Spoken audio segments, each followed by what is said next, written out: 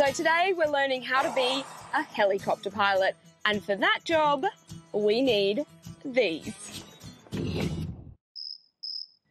Captain Mike, I'm guessing helicopter piloting isn't all movie scenes and crazy fun experiences. What's it really like piloting a helicopter? I don't know where you got that idea from. Piloting a helicopter is exactly like that. Oh, is it? The type of work we do is mainly tourism, and so all the stuff we do is in great weather with people that want to be with us.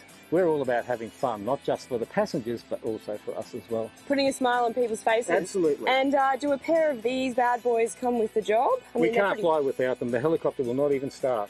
pretty standard these aviators. Absolutely. I'll put them straight back on. So how different is this from flying a plane? So Completely different.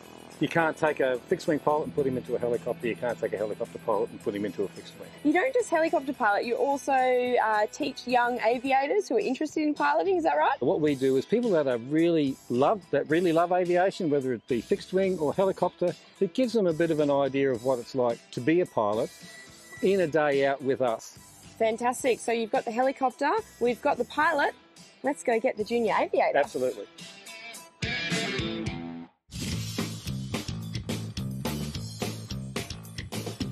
Hey Ben, thanks for letting me crash your day with Captain Mike here.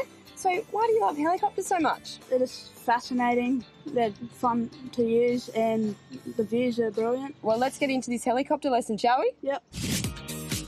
First step, making sure you've got a healthy helicopter on your helipad. We check along the main rotor blade to see that it's all intact, both sides. We're looking for imperfections that might stand out.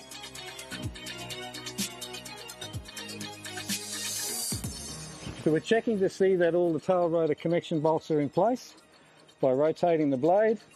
And you can see as I rotate the blade, the main rotor is turning as well.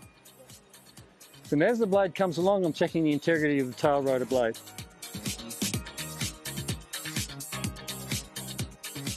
Part of the uh, startup is to make sure that all our controls are full and free. Yep. We lock everything off, then we're ready to start. Once you've got the controls down pat and done a few hundred hours of logged flying, of course, you're good to go. Radios are on, frictions are on, fuel is on. Are you ready to go? Yep. You're missing one thing. Every pilot needs a pair of these. Idea. Good luck, guys. Vital piece of equipment.